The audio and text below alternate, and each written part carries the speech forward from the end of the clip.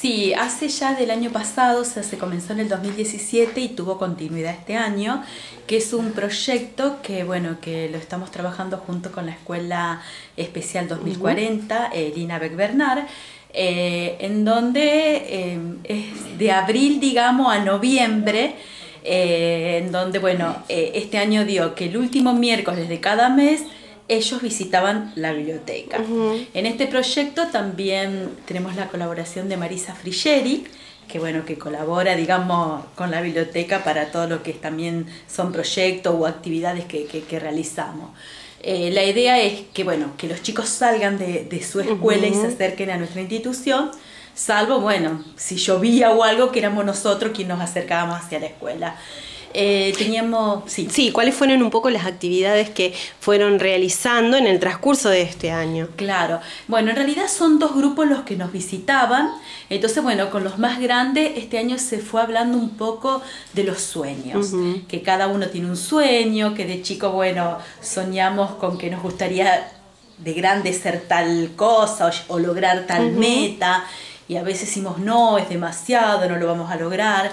Entonces, bueno, fuimos, digamos, invitando a personas de San Carlos que estudiaron una cosa, pero que después se dieron cuenta que el sueño o lo que querían realizar era otra y que lo lograron. Eh, o que, bueno, que de chicos también pensaban eso y que, bueno, haciendo un sacrificio de estudiando y todo lo demás, también lo lograron.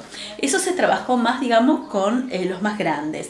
Y con los más chicos eh, se trabaja siempre, es algo diferente, digamos, eh, siempre es a través de algún cuento en donde, bueno, se hace alguna representación con títeres o en forma, digamos, de narración oral.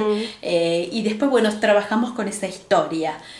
por supuesto que, bueno, festejamos la primavera, el otoño, el invierno, y bueno, a través, digamos, o sea, se cuenta o se narra ese, ese cuento y después se trabaja, digamos, sobre esa historia mediante algún collage o algo, digamos, que quede o para nuestra biblioteca o que ellos se puedan llevar. Bien, seguramente, bueno, involucradas las docentes de las distintas instituciones, ustedes como referentes de la biblioteca, siempre hay alguien que quiere venir a colaborar también eh, como para llevar adelante el proyecto. Sí, sí, por eso, bueno, ya el año pasado o más, capaz ya hace dos o tres que Marisa Frigeri se sumó, digamos, un día se acercó y bueno, propuso, digamos, que ella tenía un tiempito libre y bueno, cuando salió este proyecto me acordé enseguida de ella. Eh, y después, bueno, eh, ojalá podamos el año que viene seguirlo. Y en realidad, bueno, antes de comenzar el proyecto es como que nos reunimos con las docentes de estos chicos de la escuela especial para ver, bueno, qué es lo que vamos a trabajar.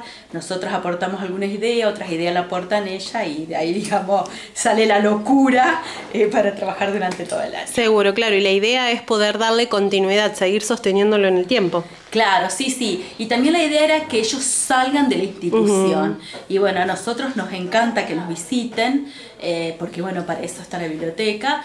Y bueno, fue un gran desafío eh, al principio con miedo, qué es lo que va a pasar, pero realmente nos encanta, digamos.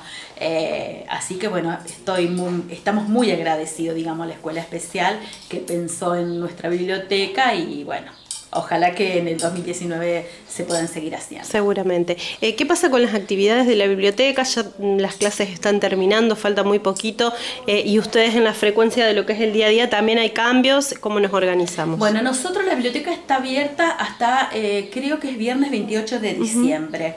el horario es el horario habitual que tiene, por la mañana, o sea, nosotros estamos de lunes a viernes, por la mañana de 8 y 30 a 11 y 30, y por la tarde estamos de 3 y 30 a 19 y 30. Todo enero cierra por vacaciones, que ya es algo de años, digamos, que se viene. Y volvemos a abrir, si no me equivoco, creo que es el lunes 11 de febrero. En realidad, el primero de febrero, con Cecilia, mi compañera, nosotras ya empezamos a trabajar, pero puerta cerrada, porque ahí es como que aprovechamos a limpiar bien los libros, los estantes y a reacomodar todo, digamos, para después poder trabajar durante todo el año. Eh, pero bueno, ya hay gente que ya sabe y si no los invito ahora, porque bueno, ya a partir del primero, digamos, de este lunes, que ya comenzamos diciembre y que es el último mes, ya que después cerramos por vacaciones, ya se pueden acercar a buscar material para llevar. Exacto, pensando en las vacaciones y en la lectura. En las vacaciones, porque bueno, hay gente que trabaja durante todo el año, no tiene tiempo y aprovecha sus vacaciones. Entonces, bueno, se pueden llevar no dos novelas o tres como tienen, digamos, lo hacen habitualmente, sino bueno, algunas más. algunas más y revistas y bueno, tenemos DVD también eh, para que no se queden sin lectura y bueno, obviamente tienen tiempo hasta el 28 de diciembre y después lo devuelven el 11 o 12 de febrero que es cuando la biblioteca vuelve a abrir.